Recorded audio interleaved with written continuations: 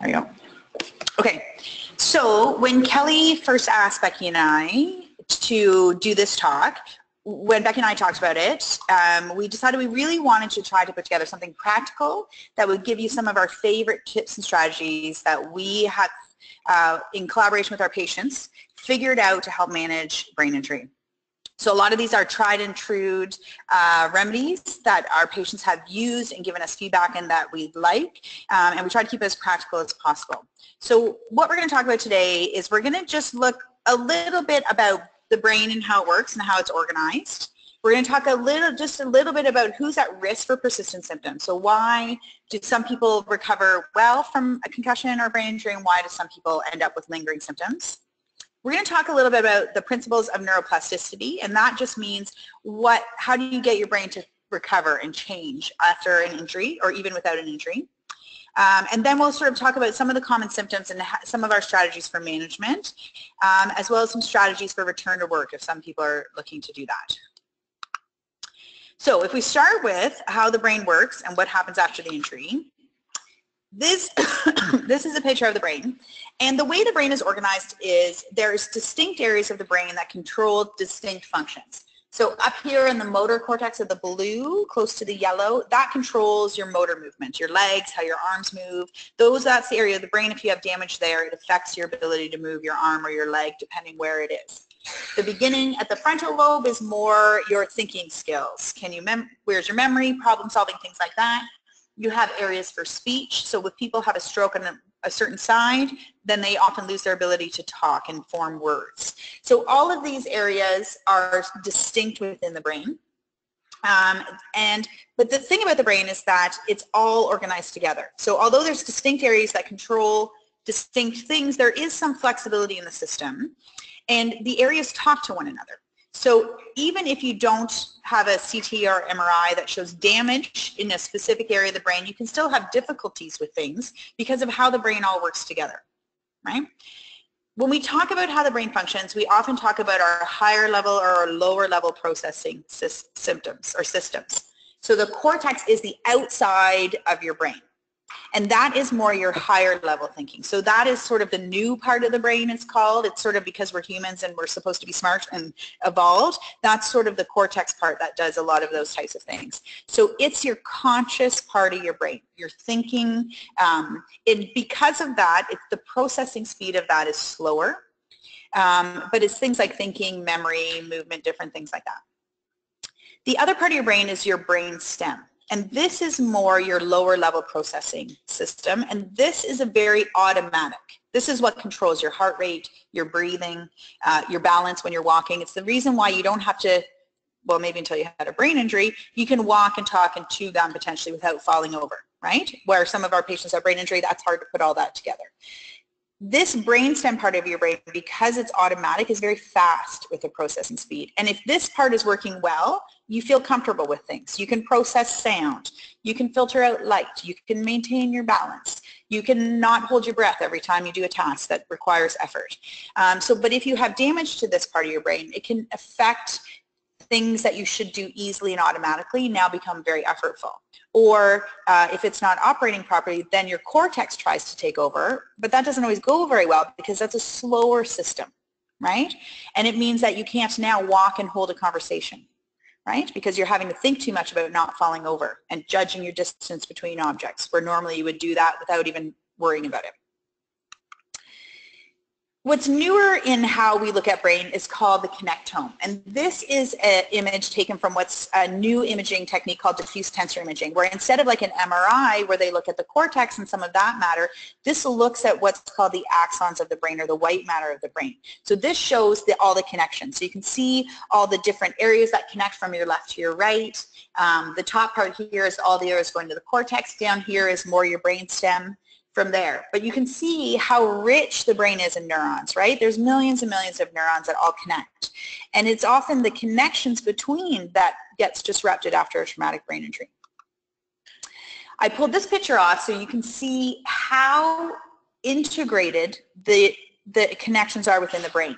So you can imagine if someone has a hit to the head where they have a rotation or they go back and forth, if you have a rotation or have something like that, you can see how these fibers could potentially get damaged and be disrupted and that can affect how different areas are able to communicate with each other right? So even though you people have been maybe sent for a CT or sent for an MRI and it's clear, which is good, we want them to be clear. There may be damage at this more microscopic level that you cannot see that will affect how the brain communicates and operates efficiently, right? Because often it's about efficient. Can you do things easily, right? Can you do things without being so tired? Can you do more than one thing at once? If we break things down a little bit further, this is what we would call it, this is the nerve cell. So this part is the cell body that initiates the electrical sig signal along the nerve. And nerve is your electrical system from your body, right? This is your electricity that sends out to tell things to do movements or breathe or whatever. Then what happens is you have a signal that goes along here and there is um, insulation along that nerve that helps the signal uh, pass by very quickly from one to the other. And then it you have the end, right, or these um, dendrites at the end that will then potentially act on the next nerve because there's not one nerve from your brain all the way down to your toes. It would be a series of, of firing along a series of nerves from one part of the brain to the other. And if you look at the end, what happens is inside the end of those dendrites, you have chemicals called neurotransmitters that get released and then they have to pass through channels to go to the next cell in enough quantities that the next cell recognize it and can start the electrical chain going. So anywhere along some of those connections, you can have a failure of either not enough neurotransmitter, not the right neurotransmitter, or the channels are blocked, and so you lose some of the signal from one cell to the other. Okay, so if you think about all the different ways your brains work, there's lots of ways for things to go wrong after you have an injury or if you have a neurological disorder. In our program, we see there's lots of, I've learned there's a lot of different ways that you can get a brain injury. Probably one of the most common ones that we see are people have falls um, in various different uh, ways. Fall and hit the back of the head is often a bad one. They strike their head on something when they fall.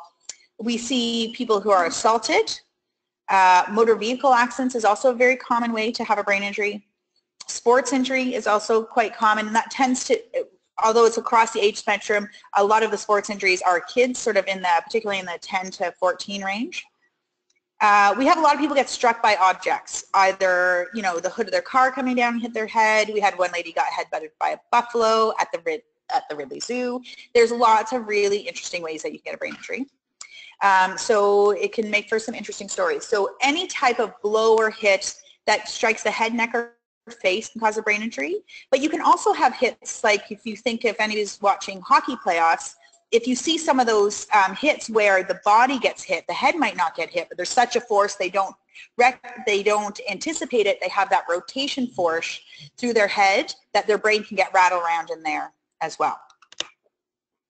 This is a nice. Oh, okay. Kelly's telling me to stop.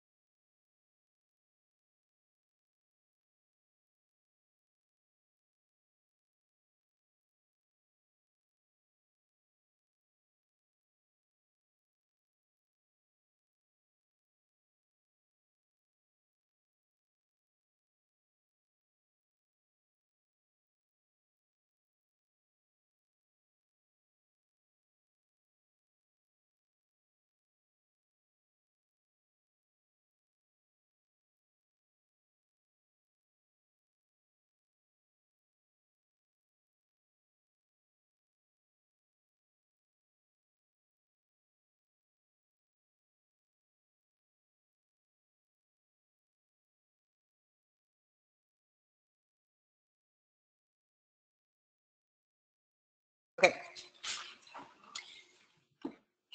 So I put this one on here because it shows the impact of the brain is at the front where his hand hits it, but you can see the brain move around and you actually can see the brain actually hit the back of the skull. So this is the other thing. So even if the, it, the where you hit the brain might be at the back or the front or the side, the brain, because it's floating inside your skull, can move around and you can it hit the inside of the skull and can cause damage in other places. So you can see this sort of the brain is not a hard and fast structure, so there's different ways that it can get damage from the impact. This, the fancy term for this is called a coup contre coup, which is in French where basically you hit one side and you have damage on the other side.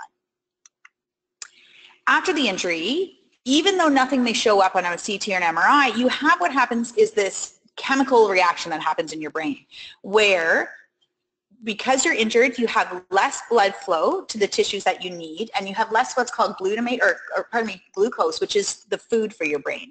So you have this period of time for seven to 10 days where when you need to use your brain and your brain's not working as well because it's injured, you have less fuel and less blood flow available which is why the advice that people often get after they have a brain injury is rest initially. We want the brain to rest for the first couple of days to make sure that they can settle down some of this neurochemical piece and let things settle down so you can get a little bit better. So this is sort of done more from animal research. So they think it takes about seven to 10 days, but maybe even longer for some of this brain chemistry to return to normal.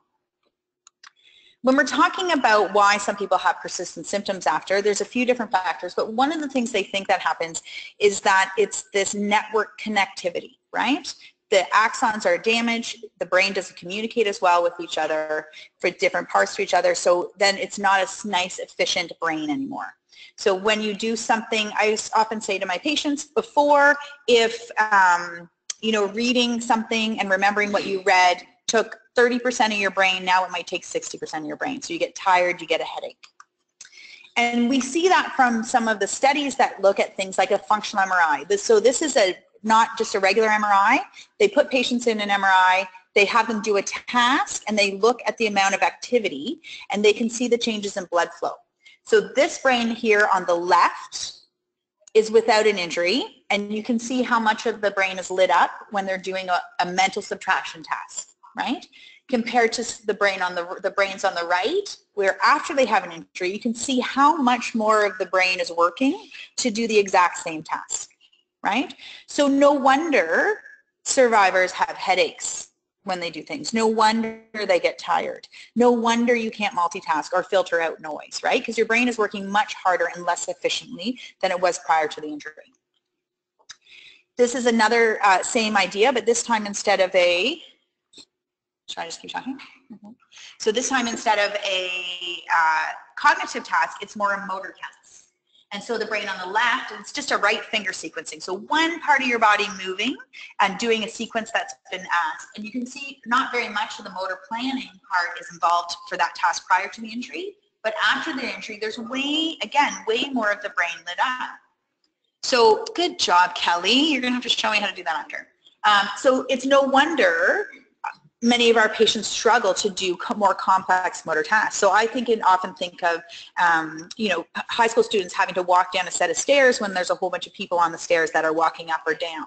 They have to navigate down and keep their balance and judge the stairs and not hit anybody else. Maybe they're having a conversation. It's no wonder they're anxious when they go up or down the stairs or have trouble with that. And the only thing is this is on it, on it now. The uh, bar is on there now. Okay. So what happens when you have this noisy, inefficient brain? It means it's hard for you to filter out sensory stimulus. It means you can't easily maintain your balance and move through your environment, like the stair example I just gave you. And it's hard for you to use multiple systems at the same time.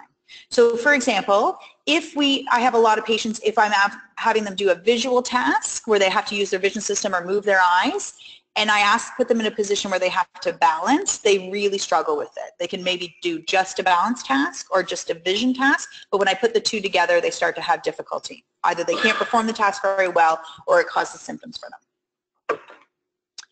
So who is more likely to be at risk of having persistent symptoms after brain injury? Well, it's not very simple answer to this question. Uh, and a lot of it is who you bring to the injury, right? What are what what what makes you who you are before you have an injury? It can be things like have you had a history of a brain injury in the past? And we always say the number one rule of brain injury is don't get another brain injury because you're less likely to have as good a recovery after you have one or more injuries than you are um, if you have no history of brain injury. So, but that's not the only factor. Uh, if you're female, you tend to have a higher risk of developing persistent symptoms after a concussion or mild traumatic brain injury and they don't really know why that is. Um, there's a few theories that they're proposing. Things like neck strength means that their brain gets shook up a bit more. Um, things like depending on where in your cycle you get your menstrual cycle you get your injury can um, affect the hormones can affect how your brain handles that type of injury.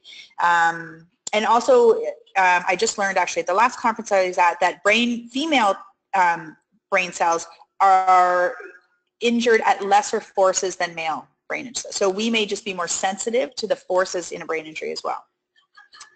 Um, your age, so younger kids uh, tend to do better than teenage kids.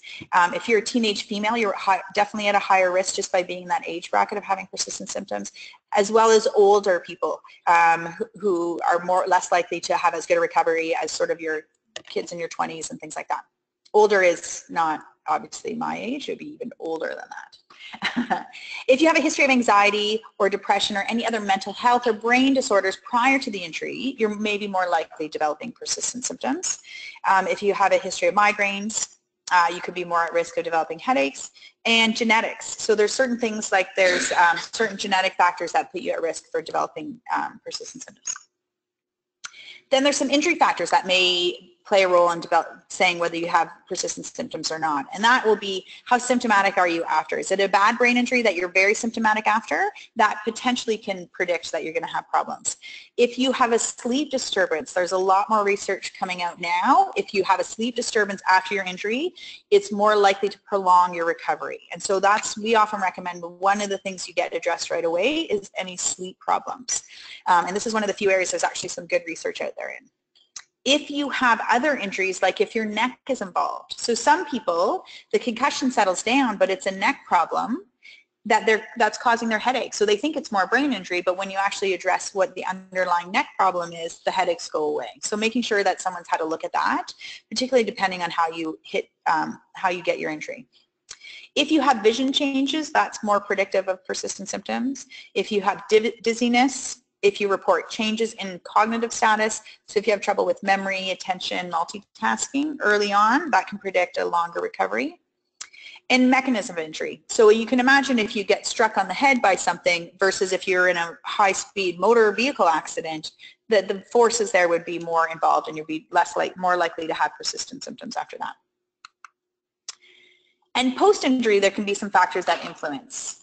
Um, so some of that might be initial management. Did you actually rest for a couple of days after your injury or did you, like some of our patients, go right back to work the next day because you have stuff to do and it's not convenient to have a brain injury? Um, depending on what your job is. So some jobs are really uh, more challenging if you're in a noisy factory, um, teachers who have to stand in front under fluorescent lights and talk in a busy environment uh, for long periods of time. What's your lifestyle? If you're a single parent running kids around and you have little kids that need your help for everything, it's really tough to take the downtime that you need after the injury. Do you have access to care? Have you had good advice early on or have you had bad advice that maybe haven't, hasn't been the best? So sometimes that can influence it. And I would say home and work supports as well. So if you have a workplace that's uh, supportive of you having a graduated return to work or maybe making some adaptation to lighting or different things like that, we have better luck getting people back to work versus not. So neuroplasticity. So this is how can you help the brain improve? Kelly, this is super annoying. Oh, that's better. Okay. So what is neuroplasticity? Neuroplasticity is changes in your brain as the result of learning or experience. So as you can imagine, there's a lot of neuroplasticity from birth till when you're in your 20s. There's a lot of brain development, a lot of change, a lot of learning. That's not to say that the hope is all gone for those of us who aren't out of our 20s now, you we know for sure that your brain still changes throughout the entire life cycle. They didn't used to think that was the case, but now we know for sure that it is. It's harder to change. It takes a bit more work, but you can definitely change it. We also know for sure that you can change your brain after an injury right? Again, a lot of recovery takes place within the initial stages after the injury, but we certainly see people several years out that had made significant changes. Um, so you've got lots of room to change and do things, but there's some principles you have to follow in order to help your brain recover. And the first principle is, was called Hebb's Law, and that is the neurons that fire together wire together.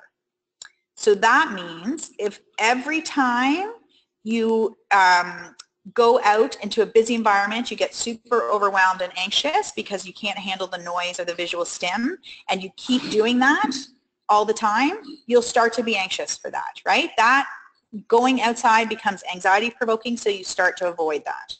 And we see that a lot in people. Um, so you want to make sure that you're doing things that are promoting recovery as opposed to promoting maladaptive behavior, right? We see a lot of people that um, when they go to move, they're a bit dizzy. And they don't like that sensation, so they stop moving. And then they just become more dizzy because the other part of this is that neurons out of sync fail to link. So that means if you don't actually do things together, if you don't um, practice something, you will lose it right? Um, or if you do things at the wrong time or do things together. So you want to not only um, try to practice good things, and we'll talk about some of the things that you can do, but you got to watch the maladaptive stuff that you do as well. It's a use it or lose it for your brain, right? And this is a strong neuroplasticity principle. And like I said about the dizziness is if you stop moving because you're dizzy, if you only walk with your head down and you don't walk with your head up, you lose that ability to walk with your head up. So these are the types of things that you need to practice to help you recover. The other thing is you have to use it to improve it. So you have to challenge your brain to be able to do things that are hard for it in order to improve and change. And we'll talk about how you figure out the right level of challenge. Another principle is you have to be specific. So if you are having difficulty walking up and down stairs, if you just walk over ground, that's not going to necessarily, although it may help a bit, that's not really going to tackle your ability and improve your ability to walk up and down stairs. So if you're having trouble with something, you have to be specific in how you target an exercise or activity to help change and improve that. The other thing about our brain is that you cannot learn if you're not paying attention. So if you are not engaged in a task, if your mind is wandering, if you can't concentrate because your headache is too bad and you're still trying to learn something, you're not going to learn it, right? You have to be engaged. You have to be attending in order for the brain to actually learn something. And if you have kids, you probably already know that. The other thing is motivation equals success. And so we see this a lot in our patients where, um, you know, if you have it's more than just the right attitude. If you can be upbeat and handle and be resilient for what comes your way and be motivated to do your activities and your exercises, even if they you don't feel great about it, um, this is where you start to see change. And I always say there's two types of people. There's a continuum of people in the world. On one end is those that don't do their exercises that their physiotherapist gives them.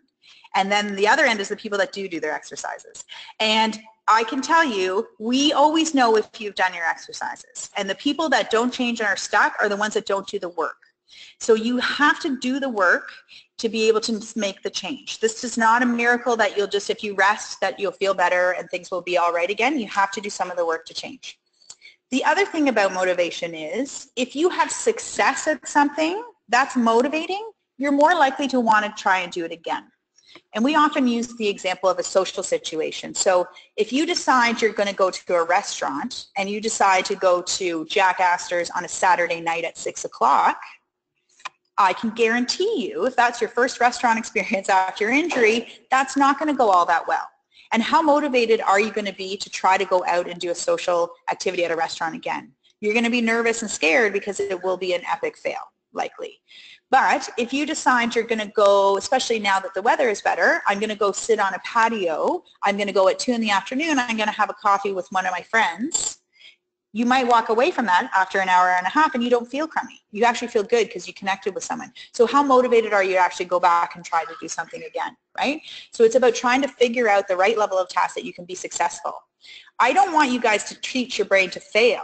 And we see a lot of that where people are trying so hard to recover. They just keep doing things that are either too hard or they're not the right thing for them and failing and failing. And then they just get so discouraged or they get anxious or depressed. It's about trying to find the right level of challenge so you can be successful so that you can go to the next level. Intensity matters. The brain does not change without hard work. So you do have to do exercises with repetition as well. Repetition intensity if you are doing stuff that you're already good at, that's not hard, it's not necessarily going to change your brain. If you do stuff that's too hard, it's not going to change your brain for the better either. So it really is sort of the Goldilocks and the three bears. It's about trying to find the right level of challenge, not too hard, not too easy, and doing it repetitively for your brain to learn. So this is my new thing that I've been talking to patients about the right level of challenge. So this circle represents everything you used to be able to do before your brain injury. And for many of our patients, this is extensive. They were parents, they were working, they maybe volunteered, they maybe looked after their parents as well. Um, they have hobbies, they have things they like to do, they took care of their house, all sorts of things. We all lead very busy lives. This might be represent what they can do now, right, successfully. So their, their abilities are often significantly restricted after their injury we have some people that try to do everything they used to be able to do and it's not going all that well, right? Or they can do it one day and then they're in bed for three days. So really, if you want your brain to improve, what you need to start doing is more this, a little bit more than you can do. And we call, I like to call that the zone of therapeutic benefit. So if you stay in this red area, that is the area that makes your brain change for the better if you go out back into the green, particularly close to the edge of the green, that's not necessarily going to make you better because you're doing stuff that's too hard. It's like if you were in grade 10 and I came in and started teaching you university level math. More likely, are you going to learn anything about math? Probably not because it's too hard. Are you going to want to come to math class? Are you going to sign up for math? Do you like math? Probably not because you're going to be discouraged, right? You're going to think you're dumb and you can't understand it. But if I come in as your teacher and teach you grade 10.1 math, and you understand that, then I give you grade 10.2 math, I might get you to university level math, right? But it takes a little bit of time, and that's how we try to do it when we're giving people activities. You know, if you find it's hard to look up while you walk, I don't want you looking up and turning your head 10 times while you're walking. That's too steep a gradient. That's too hard. What we're going to practice first is walking with your head up a little bit. And maybe you'll do that for 10 steps and then look down and we're going to work our way up starting turning your head. And if you work within that red zone, what we find after time is that what you can do now starts to get bigger, right? You start to be able to do more successfully, be able to take on more things and build your stamina. So the way you can push yourself has to move as well, right? And really our long-term goal, and there's a range of what this looks like for survivors. Some people, this might be their best level of recovery. But some people might be able to get back doing everything they did before. Okay, and that's, it varies from individual to individual in terms of what their level of recovery is. I like to put these books up because these are really great books. There's a, um, a physician called Norman Doidge, and he wrote two books. The one on the left is his first book that talks about neuroplasticity. It's written for the layperson. Having said that, it is got science terms. It's not you know, it's not a novel that's the easiest read. Um, and then the second book is more different ways of more innovative treatment ways that are on the cutting edge of neuro, neuro rehab. Okay, and um, if you don't even want to read or reading's hard for you, there's a documentary. So you can go to CBC, The Nature of Things, and they did a one-hour documentary on the brain's way of healing, on the more on the second book that he shows some of the things. Okay, Kelly's telling me we're going to have a break. So we're going to come back at quarter after 10, to, eh, we'll come back at quarter after, so if you guys can take a break, and we'll meet you back here at quarter after 7. Yeah.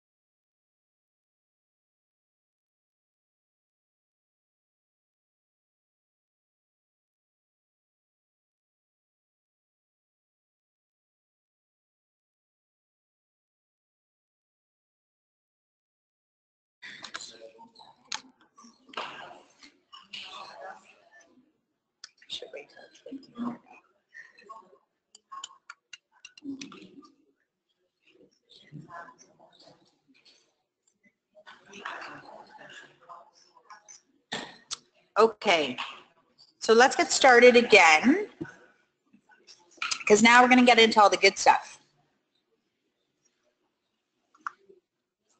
So here is a not exhaustive list of common symptoms that you can see after brain injury. So you can see there's a lot of different symptoms. So certainly it's not everything, but these are some of the more common ones that we see after injury. So headache being one of the biggest ones, dizziness, light sensitivity, noise, fatigue, cognitive changes, trouble with your balance, sleep changes, difficulty reading, difficulty with screens. We have a lot of people struggle with computer screens or phone screens or TV screens. Uh, anxiety and depression we see quite commonly.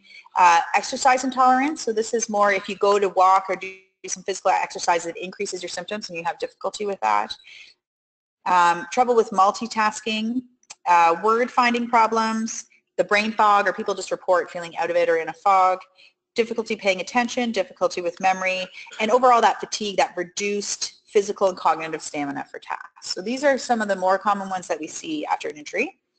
Um, and we're going to talk about not all of them, but some of these strategies that we talk about will uh, help you across, across more than one.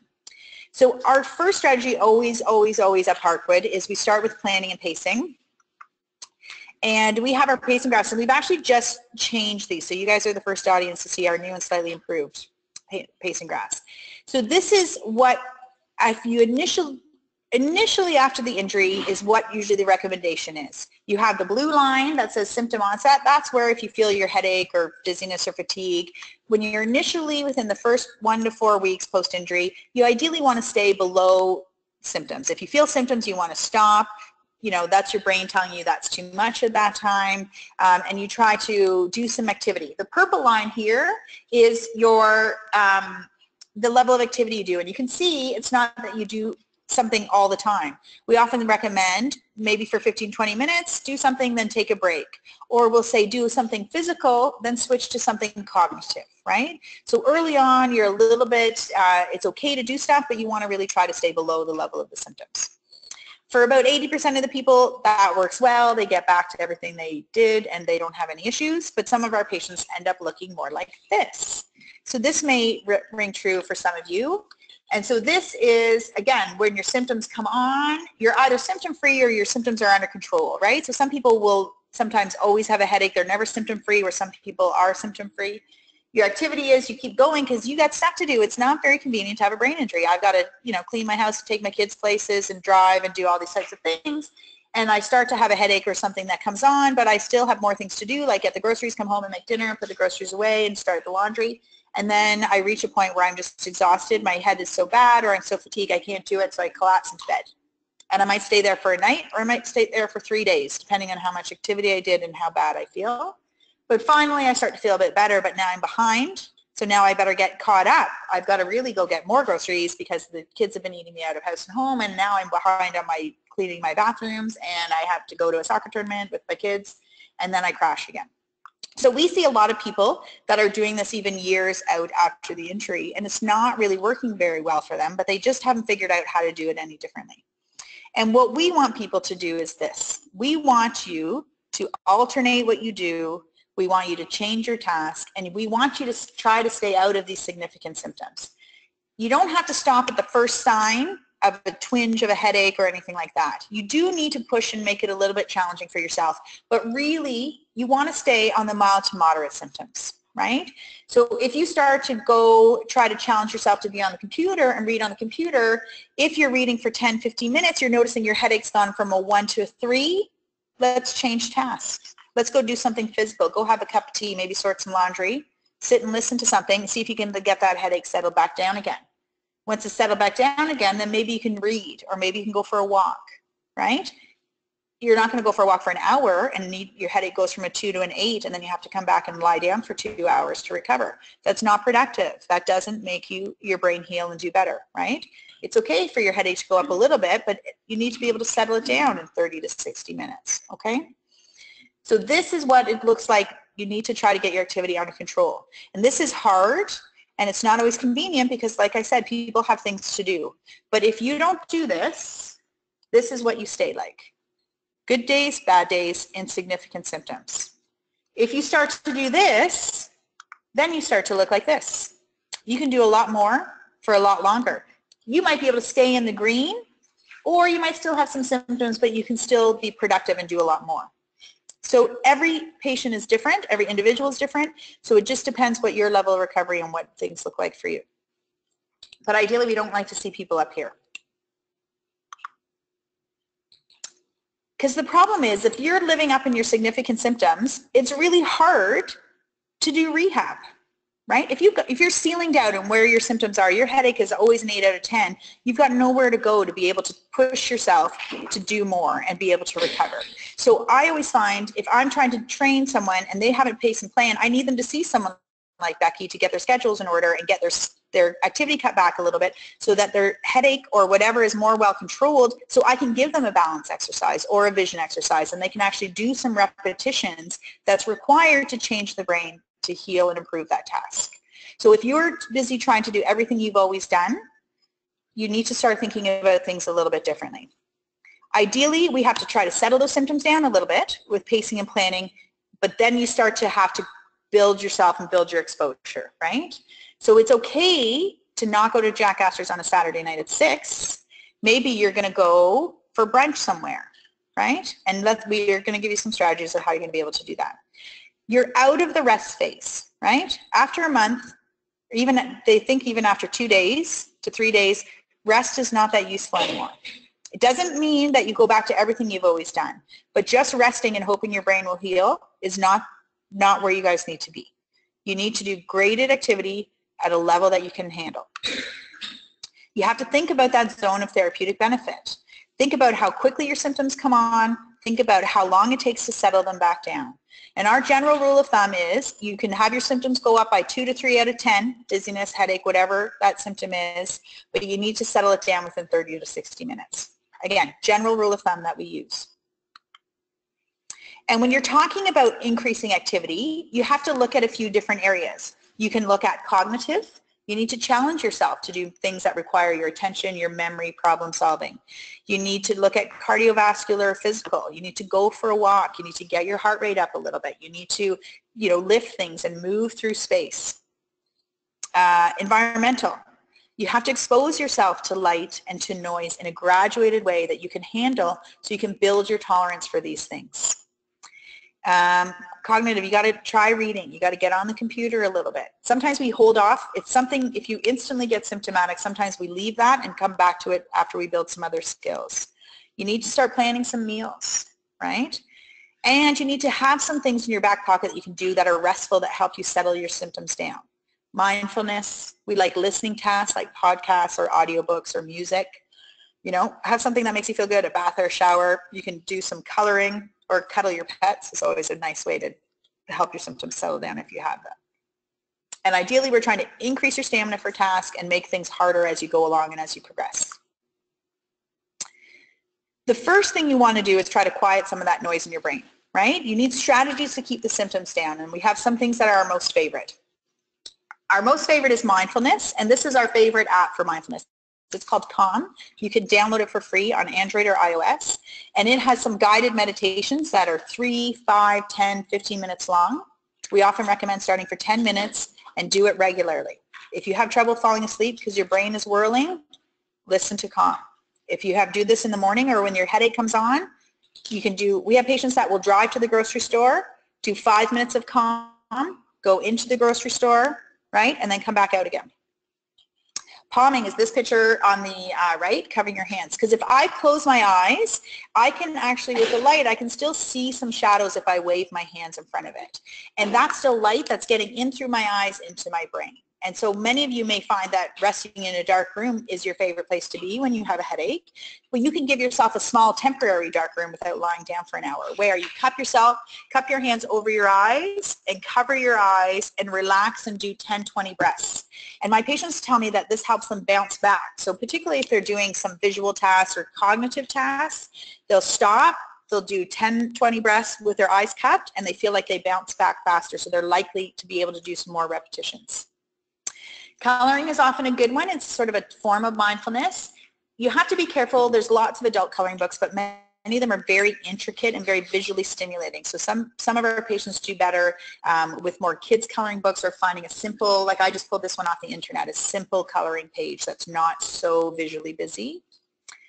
Um, and sometimes you can think about reducing the stimulus, right? There's a reason we don't have all the lights flaring overhead for you guys. We turn them down because we know that you don't like that. Um, think about noise. So if you're starting to do a cognitive task, don't have any noise in the background and work towards having noise in the background. We also really like listening tasks for downtime so that you're not sitting staring at a blank wall going crazy because that's going to make you depressed. Um, but doing something like listening to a podcast. TED Talks are great. They're 10 to 20 minutes long. You can sit, listen to a TED Talk on a podcast, and, and go out from there. Audiobooks are often good as well. Addressing the sleep is really critical. And the first thing is sleep hygiene. So um, there's lots of, of sleep hygiene advice on the internet, but these are some of the highlights, which is you try to go to bed and wake up at the same time have a bedtime ritual, just like you did it when your kids were babies, right? Bath, sleep, right? Story, bed. Um, you want to make your bedroom a haven for sleep. Don't have your phone there or turn everything off. Make sure, you know, your shades are drawn. There's no extra light coming in. It's quiet so that when you go to bed, you just go to bed to sleep, not to watch TV, things like that.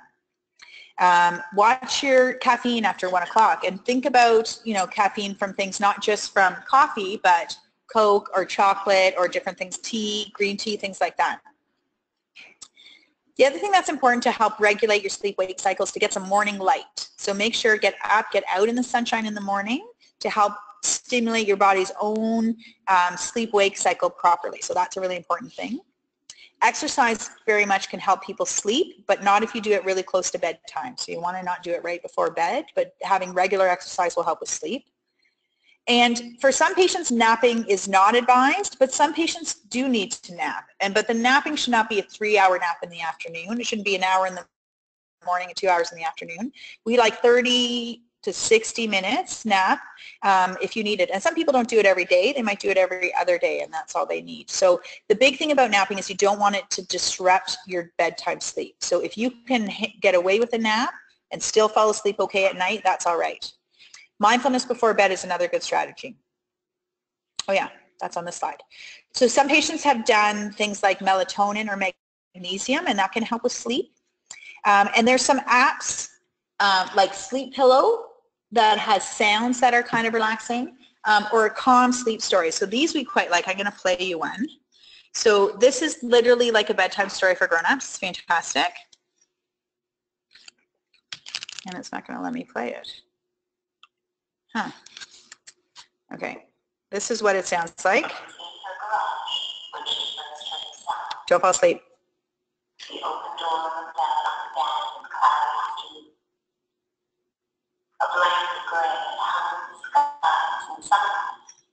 Right? So it's hard to stay asleep when she, or stay awake when she's talking to you. So for those of you, if your mind is spinning at night, and you have a hard time settling down, listening to something like this where it distracts you and just settles you down into sleep can be helpful. Some of our patients have been liking the sleep sounds. So I just YouTube sounds for sleep and you can find music like this.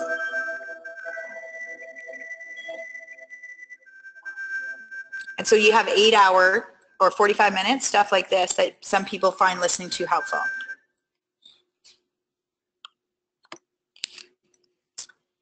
Um, similar to the short, the getting morning sunshine, if that's hard for you, you can do their shortwave blue light. There's a little bit of research saying that that shortwave blue light, you can do a burst in the morning and a burst after lunch. That can help regulate your sleep-wake cycle. Some of our patients also find amitriptyline is a medication that's helpful if they have sleep and headache. That's often one of the first lines of defense. So you could ask your doctor about that. And usually our, our physicians start people at 10 milligrams daily and go up by 10 milligrams as tolerated. But it's a generally a low dose that you don't need it.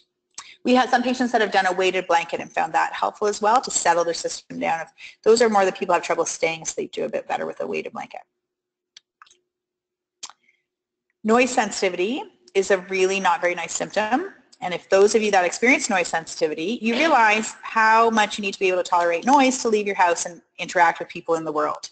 So we have a couple strategies. Some are for coping. So these are the coping. What can you do to survive the noise sensitivity? So we really like musicians earplugs. So this Alpine one on the right, you can buy those online for I think 35 or 40 dollars and they have different levels of filters. So if you're going to watch your kid's hockey game, you can put in the strong filter to block out more noise versus if you maybe are having someone over for coffee, you know, or meeting someone for coffee, you could do a lower level filter. These are better than earplugs because some sound gets through, but it filters out some of the background noise. So people find that that's better and more comfortable.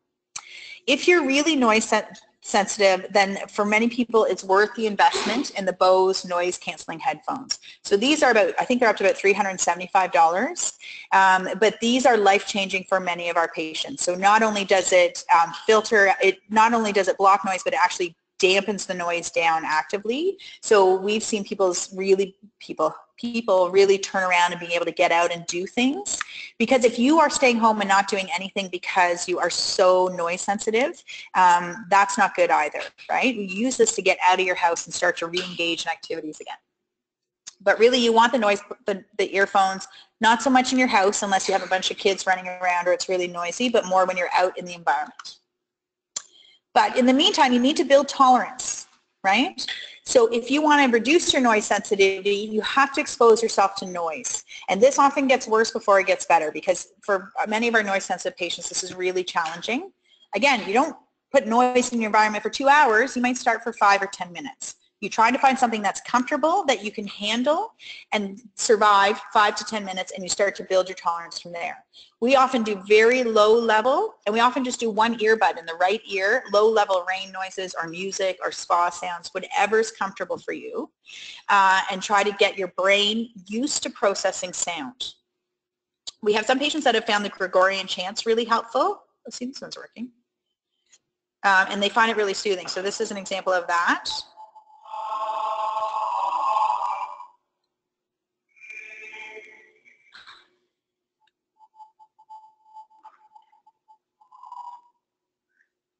So that's when there's something about the...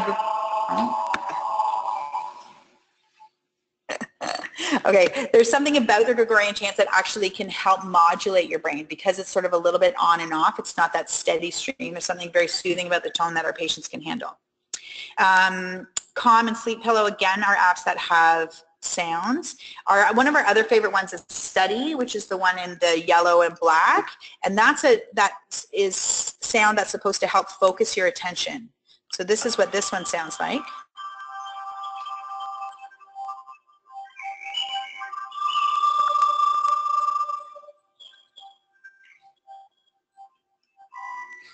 So that's a binaural noise that many of our patients have given us really good feedback. Even some of my most noise sensitive patients have actually found it helpful. But again, it's finding what works well for you. If you want to start building your tolerance for being out in the environment, there's a great app called Coffitivity where it simulates the sound of a restaurant.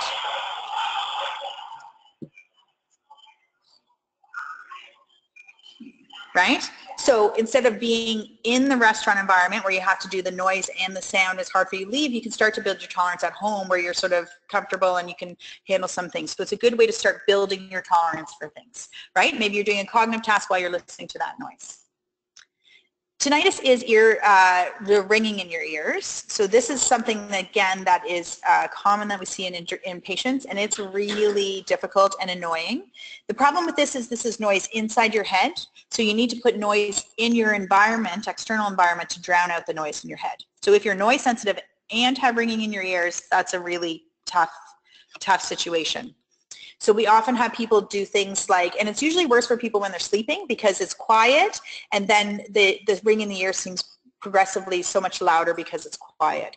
So it's about trying to find some noise in your environment. So people will buy a white noise machine, but we've had patients that actually taught us about brown noise. And the brown noise is a lower pitch and is tolerated a bit better. So I'm going to play, maybe, I'm going to play, this is the white noise.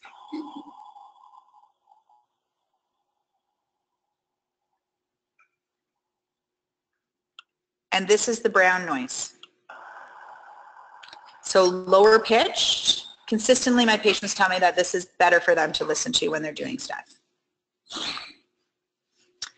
Life hacks for reading. So uh, again, we don't want you to avoid reading. We want you to start trying to work on reading. And so something like a blinder, which is shown in this picture, is that covering up what you have to read. So instead of looking at a page where your brain takes in all the all the visual stimulus, even though you're only reading one line at a time, dampen down how much your brain has to take in. Have a have a cardstock or something and cover up and sort of just move it down the page as you're reading. It'll help your eyes be on the right line and help decrease the amount of noise coming in. Sometimes our patients end up doing like cutting a window out so they have a blinder above and below. So as they move down the page, they're not distracted. But it tends to be the stuff down below that's more distracting for people. Colored overlays are the picture in the middle. So this is, you can get these at Staples for $3. And this is, we have about maybe 40% of our patients find that if we cover whatever the reading material is with this colored filter, it's more comfortable.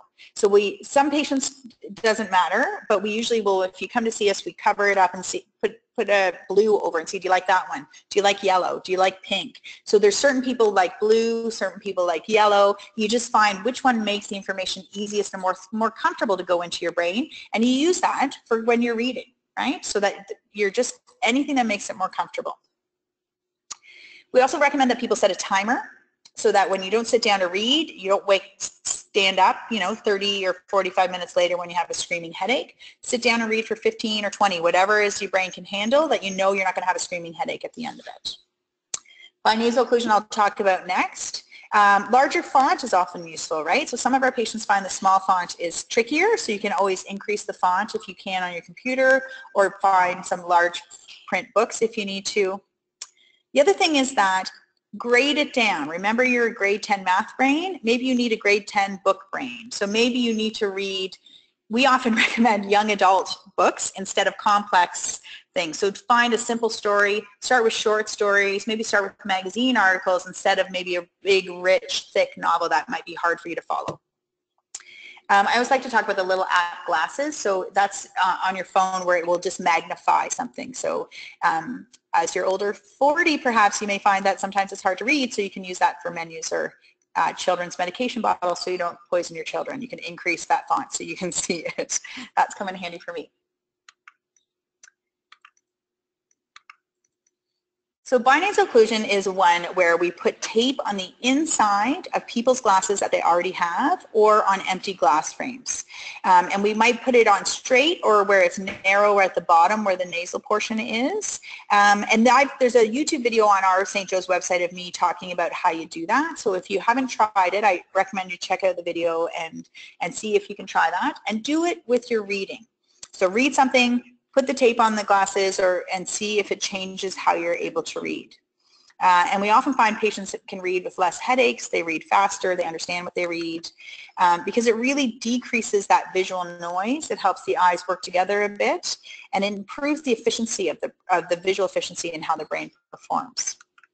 So I'm going to play a quick video. Uh, this is actually my kid Muddy who uh, got concussed um, and so he got, of course, the glasses on on day one, and you can hear his reading with and without the glasses. I Kevin thinks the kid is special. Even when we're not. But I think it's starting to get a little out of control. Vinny played soccer this spring, and his team stunk. They never got a single goal, and the other team scored at least 10 times a. It so you can see he reads faster and he reads easier and he's less hesitant. And we see this commonly with our patients as well. So we usually recommend it for things like reading, TV, computers, or driving. But some people find they also like it when they're walking around. Some people don't like it when they're walking around, but you can try it and see what works for you if it does. In terms of computer screens, there's a few little tricks that we use. One of which is called f.lux, which all of us should use anyways. It's a free download, and it's the bottom right-hand picture and what that does is it takes out the shortwave blue light out of our screens. And so it makes it usually, that makes it much more tolerable for people uh, post-brain injury. So you don't realize, especially at night, how bright your screen gets. So this one gets um, a little bit darker and more yellow as the night goes on. And you can see the difference in the screen before and after. And similarly, the iPhone has what's called the night shift. And if you don't know how to use it, you can talk to Becky or I at the end and we'll show you how to do it. But this is a setting you can put on your phone. Instead of it being sort of icy blue, it warms it up and makes it more yellowy. And again, many of our patients find that much more comfortable to be able to read the screen. So that's available for iPad and, um, and uh, iPhone. Uh, if you have an Android, you need to download a blue light filter. And I actually don't have an Android, so I don't know which one to use. But I think there's a there's an options there. Some patients find that glasses with tint are helpful. So some of our patients have been to optometrists and got prescription lenses with tint or with blue blockers, and they find that's a bit more helpful when they're having to do computer screens. Um, the other thing is on your phones and tablets, and uh, you can do something called Reader View, which will take away all the ads and make a website that you're reading much more simple. So even that simple thing can make a big difference. And you can also do that online for an app. Uh, there's different apps that do that, but the one I know about is called Pocket, where if there's a website you want to read, but there's apps and stuff popping up, you can forward it to Pocket and you can read it and it's just the text and it's a, it's a very flatter, easier to read text. So it takes away some of the visual noise. Dizziness. Uh, we don't want people to avoid movement. You have to do stuff that'll make you dizzy, but you want it to be a little bit more dizzy, right? And the key that I tell my patients is that every repetition you have to let the dizziness settle before you go on to the next one. If you do 10 repetitions and you don't let it settle, then you stand up and you're completely feel awful. But if you do one, you come up, you let things settle, you go on to the next one, right? Grade 10 math. 10.1, 10.2, you work your way up, let your brain solve the problem, right? You have to start to introduce movement, right? You have to do the things that you've been avoiding that make you dizzy, but you do a little bit. Don't turn your head side to side really fast. Do one way, come back to the middle, let it settle. Turn the other way, come back to the middle, let it settle. Bend halfway over when you're emptying the dishwasher, stand up, let it settle right? So you can do those repetitions to help reduce that. If you're having persistent dizziness, there's uh, looking, finding a physiotherapist who does vestibular rehab can be very helpful. Or so you may need to see a doctor to rule out if there's nothing else going on. Exercise is really important. Again, same principle, start gradually, right? I have people start on five minute walking programs and eventually get to 40 minute walking programs. But don't start at 40 and go to bed for two days, right? Figure out what you need, start gradually and do it consistently, right? The brain responds to structure and consistently. So I usually tell my patients five to six times a week. And if you have any concerns about exercising, again, you might need to see your physician to give you the thumbs up to exercise if you have any concerns. If you're having trouble with your balance, practice balancing. Can you stand on one leg? Can you stand with your feet in a straight line? Can you walk in a straight line? Can you walk and turn your head? Can you practice walking down the stairs instead of hanging on for dear life? Can you just slide your hand along the railing? Can you do one finger? Can you have it hovering? Can you figure out a way to challenge your balance? Can you stand with your eyes closed and not fall over? Some of our patients have found a weighted compression vest very helpful. So this is a video of someone going up and down the stairs.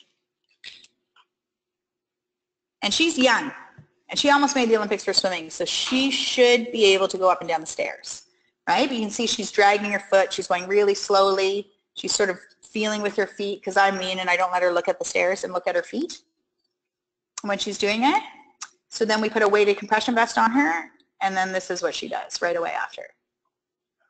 So for certain, again, for some patients, this can be a big improvement in their balance and anxiety. So we use it for patients that have difficulty with balance or anxious. Those are the two patients that we often will try the best with. Um, and we sell those at Parkwood um, after patients have seen us. We'll try it with them and then they can buy them if they if they want. All right, I'm going to pass it on to Becky now that I've strung all the time. Okay. We have to. No. Okay, so no, Becky's going to go. We're not going to take a break.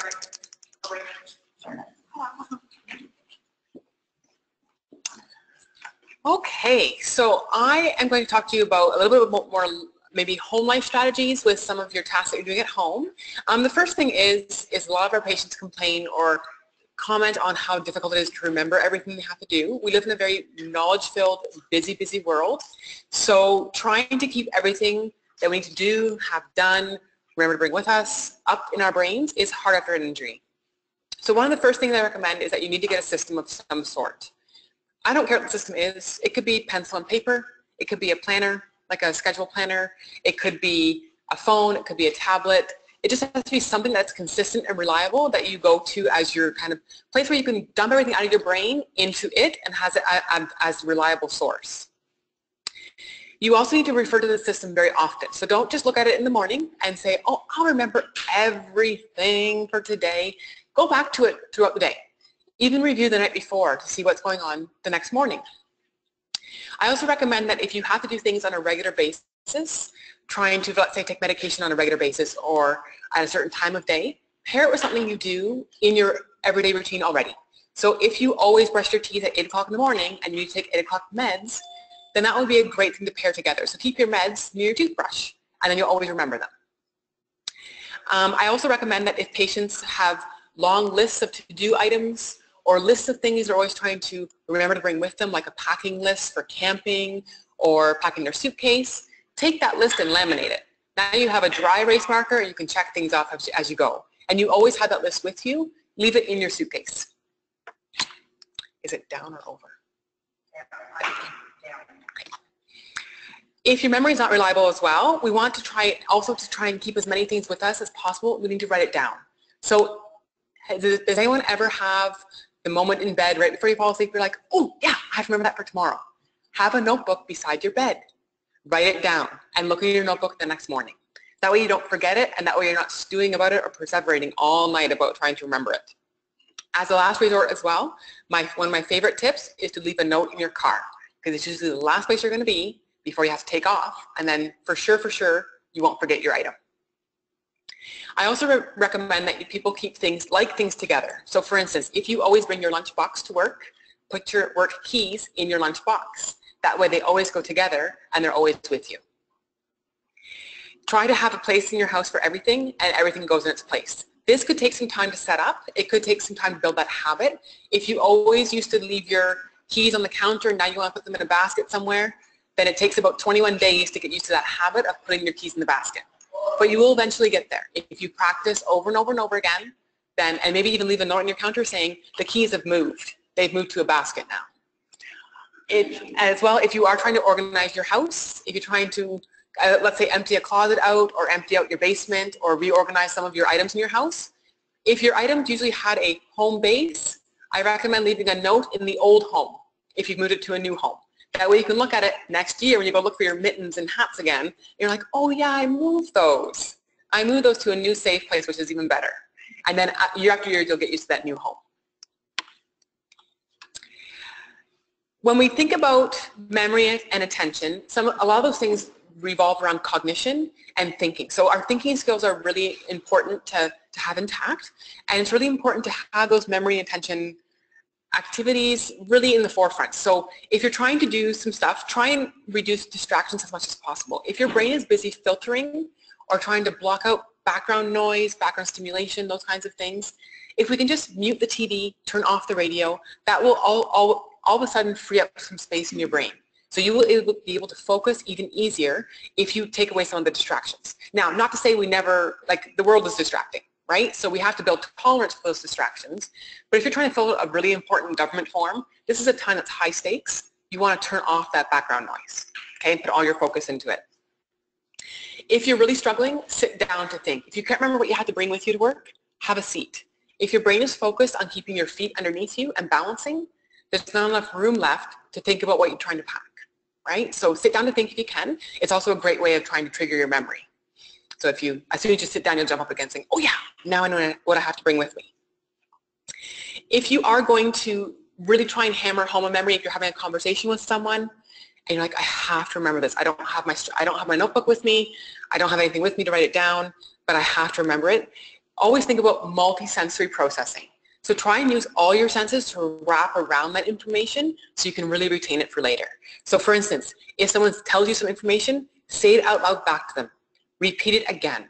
If you can, again, take a little notebook and write it down if you have it with you, or put it in your phone quickly, and then review and repeat. So before you leave that conversation, say, okay, before I forget, I just want to make sure I got this information right. So you want me to go to the dentist, at 8 o'clock tomorrow, I got it. And that's a way of kind of reinforcing that in your brain. So you can actually focus your attention a lot more if you repeat it out loud a couple times. Some of our patients as well really struggle with trying to do all the things around the house. So a lot of them are multitaskers, doing many things at once. So usually at the very beginning of an injury, I recommend that you try and delegate as much as possible. Try and clear your plate of all those things that you had to do before as much as possible so you can reintroduce them slowly and gradually. You really need to prioritize things, so pick one or two items that are the, the most important. Do you have to wash your toilet every single day? Maybe not. Maybe every other day is enough break tasks down to smaller bits. We'll get back to this a little bit later on as well. But take a large task and break it up into easier, more manageable chunks. That's a lot easier to do a small chunk than it is to do a whole task at once. And again, have a list of tasks. If you have a list of things you want to get done, almost like a wish list of to-do things, then when you have some free time, you can always take an item off that list and kind of, it's really satisfying to have a little scratch mark through that item or to have a little check mark beside it as well. If you haven't tried meal planning yet as well to help with your home life, then we'll get back to this in a couple minutes, but now is the time to start. So if you haven't done it yet, or if you've kind of fallen off with doing it, it's time to come back to that meal planning thing. I have some patients who have older kids and they're like, well, I used to meal plan all the time when I had my young kids. Now that they're older, I don't need to do that anymore. And I say, well, let's get back to it because it worked then, so it's going to work again. We have a lot of patients who want to do all or none. So a lot of their tasks are, if I can't do it all, and all in one day, I'm not going to do it. Um, so again, with that, that's not really going to make us better either. If, we, if we're not doing anything, we're not going to heal and you know get better at the task we're trying to get back to. So a lot of people are procrastinating or not doing some tasks because it's almost like a mountain of activity they have to get done. Um, one of the favorites is paperwork. So if you have that big pile of bills or paperwork you have to file away in your office. Um, a lot of people put that off, and so then it becomes two years worth, then it becomes three years worth of papers, or income taxes and those kinds of things. So I usually recommend with things like that, I say, can you set a timer for 10 minutes and do that paperwork for 10 minutes? That's all we're asking. Not a huge commitment. People are like, I can do 10 minutes. And so you've done 100% of that chunk, of that 10 minutes worth. Or could we do one inch of that stack of papers? And after a little while, that of papers will be gone again, right? So if we can do a little bit at a time, we can have 100% success with that little chunk, and it's very satisfying to, again, check that off your to-do list or scratch it off and say you did it. Okay? If your goal, your goal is to have, to complete the one portion. So if you look at the little graph here, if you want to complete the red, the red portion, you have 100% success if you completed that chunk. It's not the whole thing, but it's that chunk. So to get back to meal planning. So I talked about meal planning earlier. I have a lot of patients who this just takes the stress away. This helps with grocery shopping because now you have a list that's been formed for your grocery shopping that you need to get done. This takes away all the thinking that happens on a daily basis of what you're going to make for supper because you've done the thinking all at one time and you've made the decision early on in the week before you went shopping and now you have all the ingredients, you have everything you need to do, and all you have to do is follow your list when you get home. It's really important though to schedule some quiet time to do your meal planning. So don't try and do this as you're in the parking lot of the grocery store because you're trying to rush at that point. So really try and schedule some quiet time to do this, maybe in the evening before you go grocery shopping, even not even the day of. So you can do a, at a different time when you're not rushing so much. I usually recommend that you use an, a meal planning sheet of some sort. This is one of my favorites, the Eat Sheet. Um, so this has the meal planner on one side and the grocery list attached to it. If you want to get really picky about it, you can do the Becky method of grocery shopping or grocery list making, which is write down your items in your grocery on your grocery list as you would travel to the store. So imagine what your store looks like and write them as you would go through the store. So the produce is always at the front, then you hit the bread and the meat the back, and then you hit the aisles afterwards. Okay, so know your grocery store and try and stick to the same one if you can, because then you get familiar with where things are until they move everything on you. And then you have to find it all over again. Do not try and fill out this sheet though when you are grocery shopping.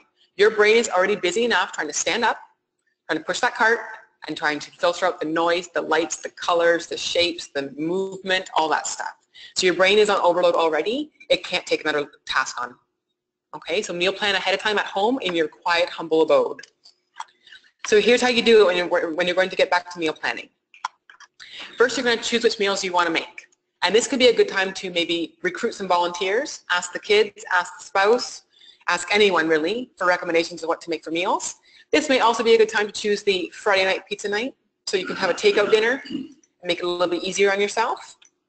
It's also a good time to check the freezer. You may already have some stuff in the bottom that you haven't looked at for a little while. So you might want to take some inventory. As you're making your meal plan, you want to write down the ingredients you need or the items you need to buy at the grocery store. Again, a good time to check the cupboards. I have some patients who buy a bottle of mayonnaise every time they go out because it's on sale, and then they have 10. So unless you're making a lot of potato salad, you don't need that much mayonnaise. When you go to the grocery store, I don't know about you guys, but I like to buy my shampoo and soap there too. So that's not really a food item to make with a meal, but you want to add that to your grocery list too, that would go at the bottom of the list in the pharmacy section of Becky, the Becky grocery list system, okay? And bring the list with you. Who makes a list and leaves it at home? I do, I do. So if you find that you do tend to do that a lot, where you leave the list at home, then your phone is usually always with you. Take a picture of it with your phone.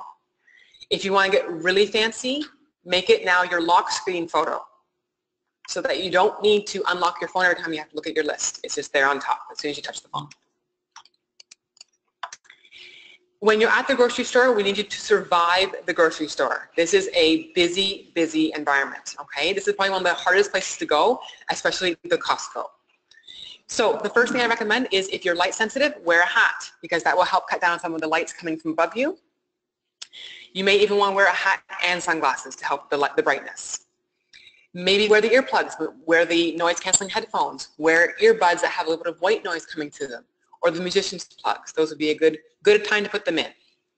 You can go at the off-peak times. Do not go to Costco on Easter Saturday. That's the busiest day of the year. You will not even find a parking spot there. You want to go on Monday. Costco is Monday, guys, because that's the least busy time of the, of the week for Costco. Um, I am part of the Sunday Club. So I go out Sunday morning at 8 in the morning, and there's no one there. And there's all my Sunday Club members as well. So we all go together and we say hi, those kinds of things. So if you find that driving is hard, when you get to the grocery store, do some mindfulness before you head into the grocery store. So the drive took enough out of you, let's recharge the battery a little bit, and then head in and get our groceries in the cart. You want to try again, make your list ahead of time, so don't try and do this, and, try and, and don't be changing that list when you're in the grocery store, okay? You want to stick with the list you've already chosen, even if something's on sale, so try and resist it if you can. If you really struggle with grocery shopping, if you can't do the store at all, there's always these lovely things called click and collect now. So Loblaws does this where you can shop online. You tell them when you're going to come and pick it up and you drive in and they load it in your trunk. So perfect. Good way to go. If you're avoiding the grocery store and you haven't been there for a while, the first trip back should not be the entire family's weekly grocery shop of the one hour in the store.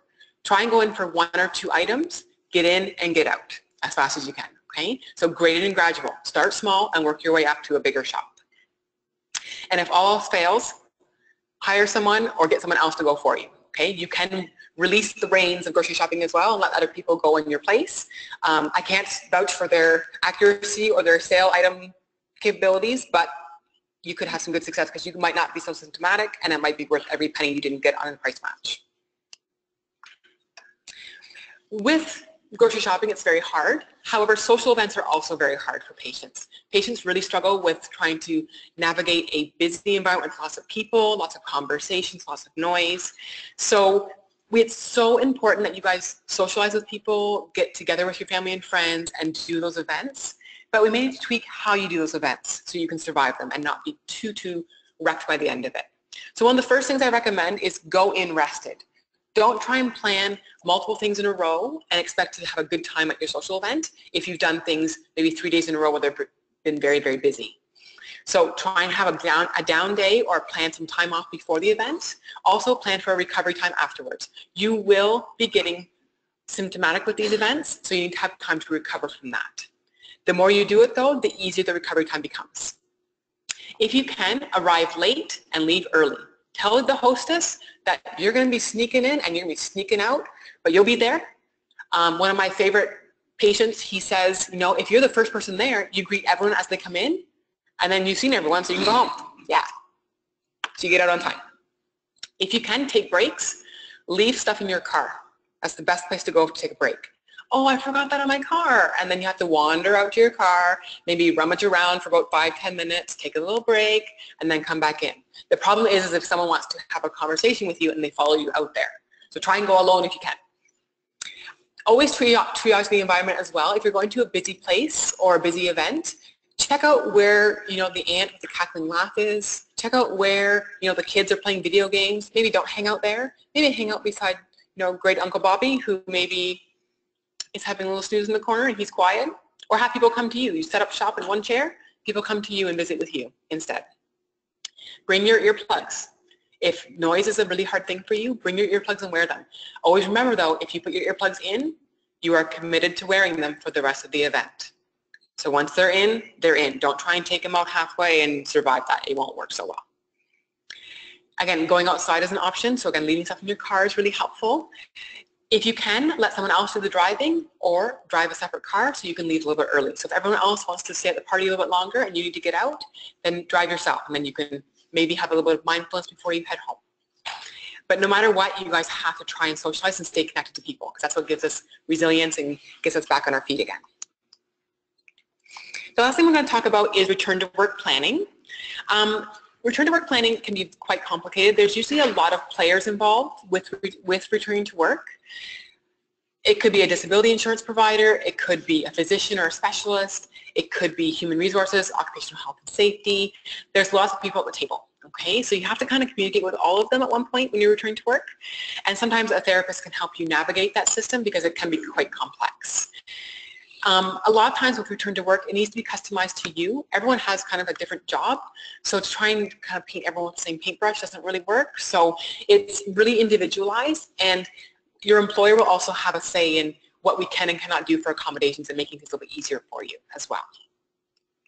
One of the key messages for return to work that I usually give is it has to be, just like everything else we've been talking about tonight, graded and gradual. So if we can, start out with smaller number of hours per day and maybe reduce responsibilities and gradually increase those over time back to your pre-injury state. Be aware that some activities may trigger more symptoms than others. So things like the computer screen or things like noisy environments, maybe those things that you have to be really, really careful of and maybe perhaps use a timer to help with that. So those tasks that are kind of really triggering, a timer might be really helpful to get into those tasks and also your reminder to kind of get out of them when it's been a little bit too long on them. And you can take a little bit of a short break. A lot of our patients, they've tried to do the 50 minute hour. So every fifth, every hour they take a 10 minute break off of whatever they're doing. Um, again, this is all dependent on if your employer is supportive of this and if you're able to. If you work on an assembly line, it's very hard to just say, click, stop the line, and here's my 10 minute break because they won't really like that either, right? So it depends on what you're doing for a job. Um, if email is the bane of your existence and you are always being interrupted by new emails, ping, ping, coming in, then maybe shut the email system off put it in your little signature line that you check emails at 8 in the morning, noon, and 4, and that's it. And then people aren't expecting you to reply to them right away, perhaps. It all depends on, again, what your job is and what you're able to do with that. But sometimes turning off that background distractor can be really, really helpful. If you can have a signal or if you have a door, close the door when you need to have a little bit of quiet or need to be not disturbed by other people okay? So some patients wear a hat when they need to be on do not disturb mode. Some of them put up a little sign. Some of them wear a special sweater. Again, it's about communicating with your team members as to what you want as do not disturb. Um, some people put their headphones in, but there's actually nothing attached to the other end, just so it looks like they're busy and they can't, so don't interrupt me right now.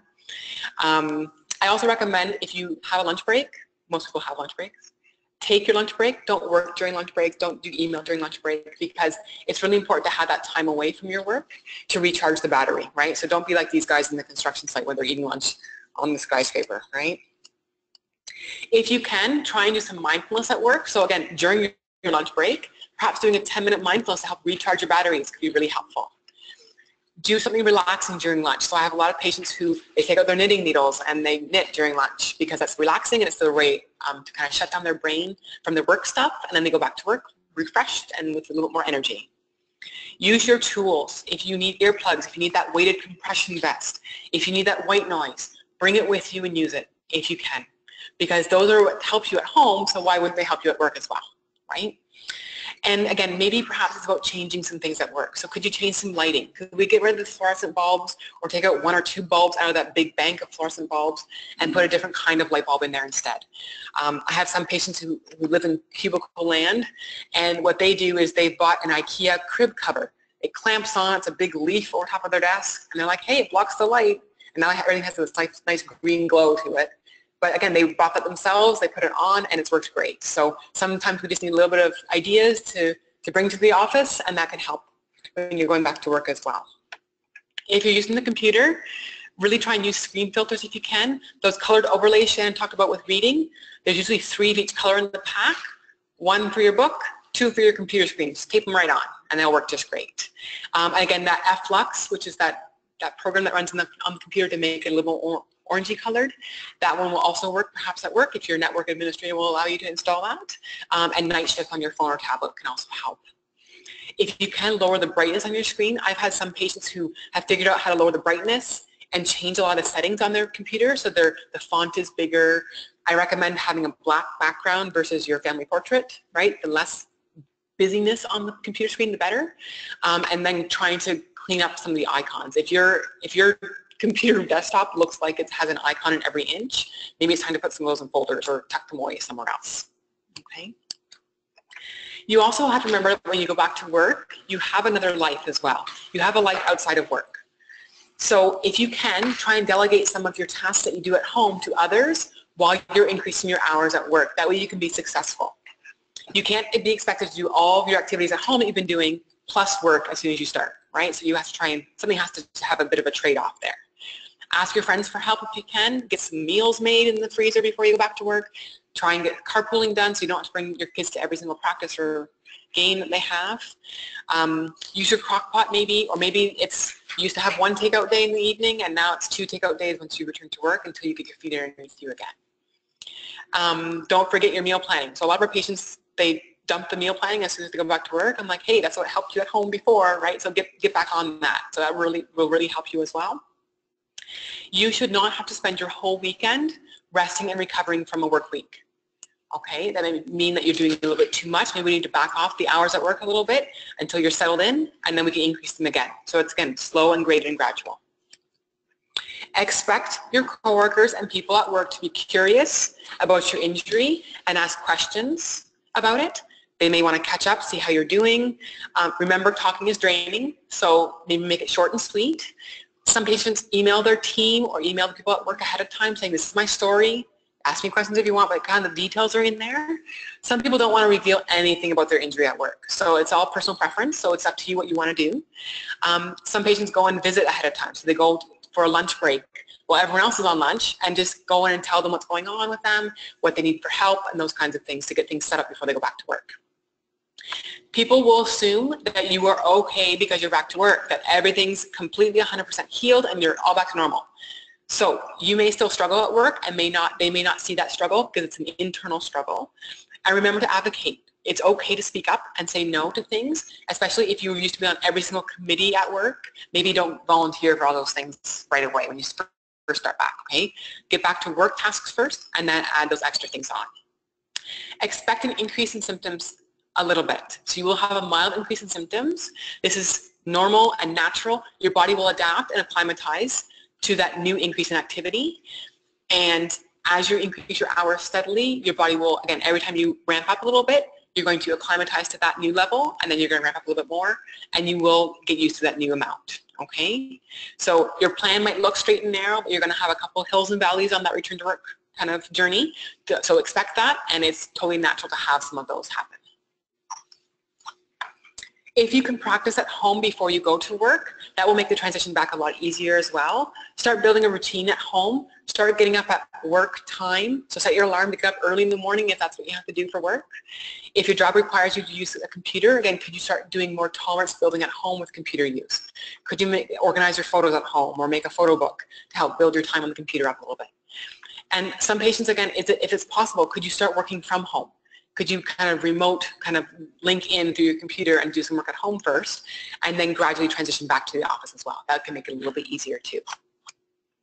So in summary, with all we said and talked about today, um, you may not be able to do the same things in the same way you did before, but you can return to meaningful activity. So please keep trying. But again, think of that zone of therapeutic effect. We want to challenge your brain to change your brain. By using the strategies that we've given you tonight, and by really pacing and planning, because we're all about pacing and planning around here, we can certainly get back to those specific activities. We can change your brain and we can start to see changes and return to those tasks that you want to get back to. Okay. So now it's question and answer time. So any questions? So any questions from here? I do, have- we do have one question online. We've thrown lots of information out at you. Um, Does anybody here have any questions? Yeah.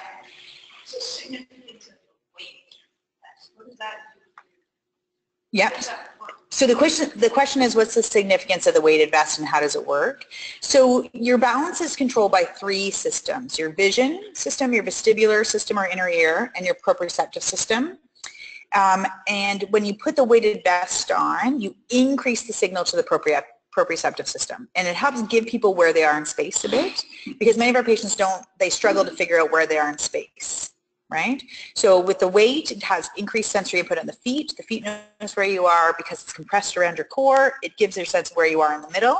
And so that's what we think happens with people. So they're able to settle down. Also the compression we also think um, has almost like that hug effect and can help release things like oxytocin for neurotransmitter. Now that's a presumption. That's, that's what we're, you know, there's there's not research that says that for sure, but that's kind of what we're thinking in terms of why, from a balance and anxiety point of view, we see a difference.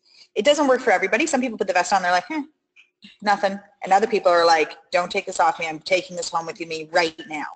So we see a range of how people respond to that. Yeah. Um, so one of the questions online was, is there a way to get rid of the tinnitus? Because they have it all the time and will it ever go away? So that's a tricky question to answer. Tinnitus is a tough one. There's not a lot of good research out there for how to get rid of it. Um, our best thing that we found, uh, sometimes you can go to see an audiologist and you can get some sound generating hearing aids that will actually ding and chime, which sounds annoying, but I had a really, really noise sensitive guy who found it helpful and it helps train it out of your brain. Uh, but besides that, there's not many other great objects. It's really about a lot of our patients tinnitus is related to their activity level. So for some of our people, once they get their activity level under control and get their symptoms under control, their, their tinnitus will go down. Uh, but there's not a lot of great research for much else. There's one study on uh, transcranial magnetic stim, but that's not, it's only available for research, not for treatment. It can go away, like it, some people have it just spontaneously go away on its own, Yeah. or it only comes up when they are flared really bad with symptoms. Yeah. So. Any other questions? Just a general question about uh, the frequency of uh, uh, brain injuries. It seems in society it seems to be this huge. Is there any, why is that so, I guess, and uh, Yeah. why is this a lot of post stuff happening? too? Yeah. So the, the question is why does it seem like there's more brain injuries? And so I think it's a combination of things. One is an increased awareness, kind of like autism, when they actually started to figure out what it was and correctly diagnose it. So there's a piece of it where I think it's always existed, but it wasn't always picked up before. People just were told to deal with it or they said they were anxious or depressed. They didn't necessarily link issues to the symptoms. Um, so there's that increased awareness. We always jokingly call it the Sidney Crosby effect, where because when he was one of the first high-level athletes to come out and say, no, I'm not better, and it's because of my concussion.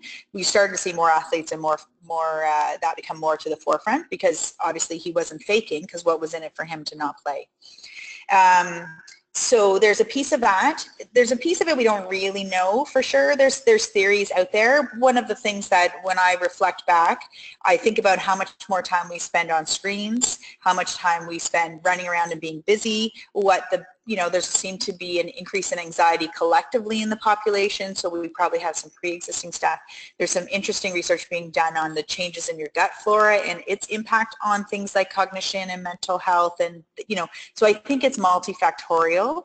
Um, some of it, people work longer, do, you know, you know, I, I mean, I do more work at home now than I ever did 10 years ago. So, and is that just because I'm older or is that because that's the expectation has changed as we get busier? So, you know, I think part of it is, um, I think part of it is maybe there's an element of people not tolerating going back to working on, you know, we have people sometimes have to get back to two screens or three computer screens, right? And, And if and, you then the phone's dinging in the background. right? Yeah. So, so some of it may be the nature of work and some of it may just be better awareness and some of it maybe we don't know. Yeah. Any other questions? We apologize for going over time, but Becky and I always do that because we have lots to say, as you can tell. we could have talked faster. I we know. wouldn't have liked that. You only knew how slow I was talking. I tried. Okay. I tried really hard. Good luck, everybody. Okay, that's all for today. Is there anything else we need to do on our end here, Kelly? Okay. Okay.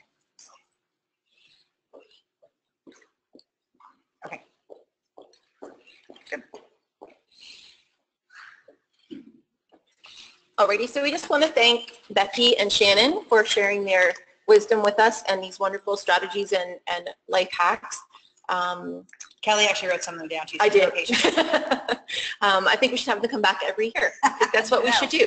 But thank you so much, um, guys, for speaking tonight.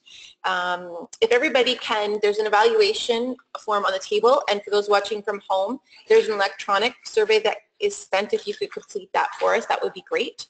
Um, just a reminder, this webinar has been recorded, and we will be making the recorded webinars um, available on our website. And as soon as we have a location and instructions on how to do that, we will get that to you. So thank you again to Becky and Shannon for presenting tonight. I hope everyone had a great evening.